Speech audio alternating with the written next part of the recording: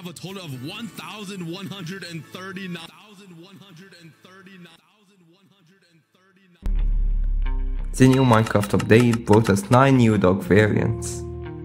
First, I just need 3 of these items. I'll explain later. Starting with the bones, I need the bones for taming the wolves, as I need to find all 9 biomes and tame 2 of each breed. I went for the wither skeletons as my main source of bones as they also drop wither skeleton skulls which I need for the second item. A bacon, I mean a beacon. I'm almost done here, I'm just trying to get myself skulls from the wither.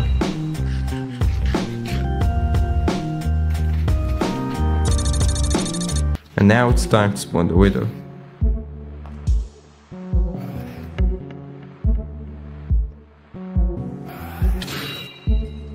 The nether star acquired. For the final item on the list I need a zombie spawner. And I found a spawner. This farm design is extremely simple and efficient. And the spawner is now completed. This way it gets a bit difficult. I need to travel the whole Minecraft world to find all 9 variants. Luckily though, my base is surrounded by 3 biomes, and I already have the Woodstock variant which is the easiest to find. The Spruce biome has the Beowulf, which is the iconic variant. Don't mind the creepers chasing me. The third biome is a Snowy taiga. This wolf variant is one of the best additions so far. So far I've collected 3 out of the 9 variants, the other 6 are found in the much rarer biomes. This will take a lot of exploration, but luckily I have an elytra on me. The next variant is the Black Wolf. It matches the Minecraft theme and is overall a great addition and adds variation. So far I've collected 4 variants, and if you're wondering about the hardcore world, well a video is gonna drop in the next 2 weeks and this is my 100 days Minecraft series. The next dog on my list is a chestnut variant, pretty rare to find in my opinion but thankfully it only took like 30 minutes of flight. I only need two dogs, sorry. Finally found the rusty wolf. Sparse jungles are quite real. I noted down the coordinates in case I build a base here. But I finally spotted the spotted wolf. The savannah plateaus are hard to come by, and the bonus point, it's really close to the next important biome I'll need the Badlands. I've run out of rockets again, but it's alright, I can just use another travel. I'll also collect a few blocks from the Badlands as I've built each dog a unique piece, so I'll need like 2 stacks of every terracotta color. So far I've gotten like 16 dogs.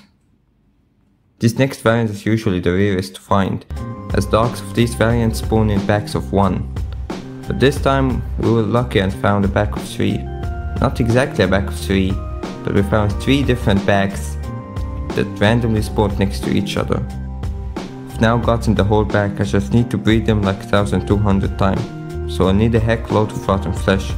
Thankfully I built a spawner in the beginning of this video. I don't want to spoil my next video but I think you already have the idea in mind. If anyone wondering why I have another star, well I personally don't know. Anyways, I've collected every single wolf variant. Here's the Ashen, the Chestnut, the Black, the Rusty and the Spotted. I've filled this massive hole. This is also me collecting a few more blocks of every type to build their houses.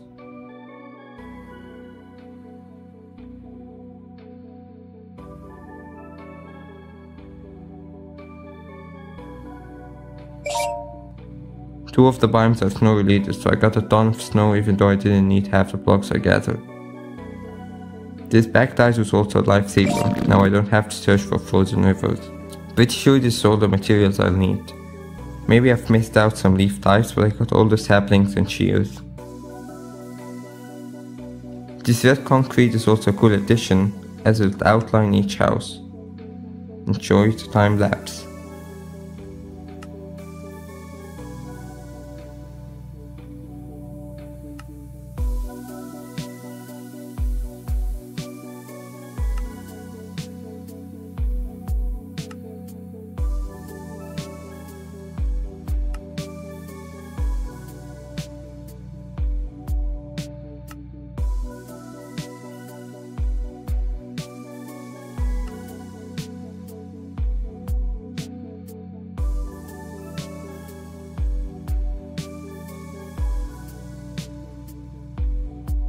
Each biome has its little easter egg and safety shelters. I also built an extra house for the first dog I got. Collecting the bone blocks from the nether was pretty satisfying, but I got shot by a couple of ghasts and the video would have been too long. I made sure to light up each house so nothing bad happens.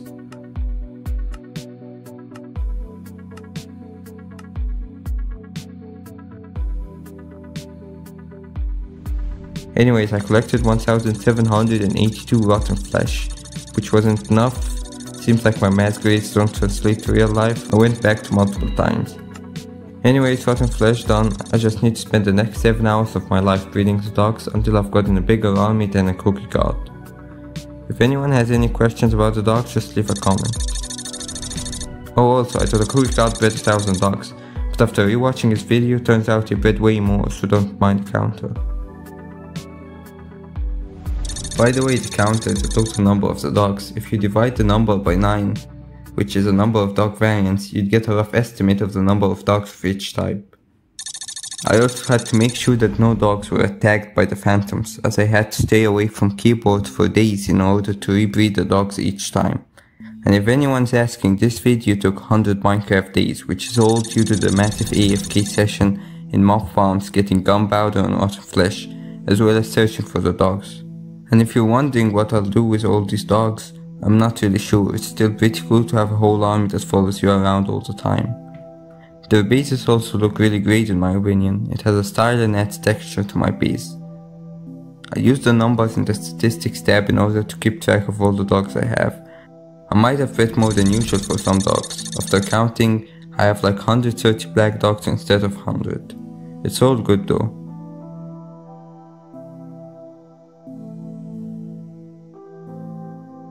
And if anyone's wondering why I look like I'm flying this clip, that's because Replay model entered the time frame in multiple seconds. That's why the whole world stopped moving. I was mid-jump. The best dark house I made is probably the spruce one. It took me a long time to use a puzzle design and I think it turned out pretty fine. I had quite a few options for the black dog's house, so I made these overgrown leaves look to make it stand out. I'm thinking about making a large tree house in the middle. I'm more than three quarters away and I'm way more ready to finish. The dogs look pretty happy in their new homes and they had a lot of space to run around. I gained like 60 XP levels from breeding and farming zombies. I pretty much thought the video ends here but I found out that I need like 139 more dogs. So, more breeding I guess. Breeding dogs is really easy, you just give the dog the flesh and make it stand up and it's lots of fun. And the more you breed the easier it gets. The point I'm making is that these YouTubers take a lot of time to make these videos and they have my utmost respect. It takes will to stand in front of a screen for hours on end beating imaginary pixels in a sandbox video game.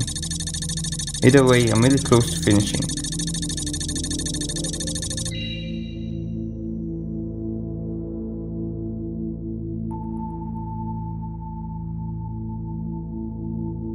Either way I'm almost done, I just need no more than two dogs. I accidentally bit an extra two, you know what that means? Just kidding, no dogs were harmed in the making of this video.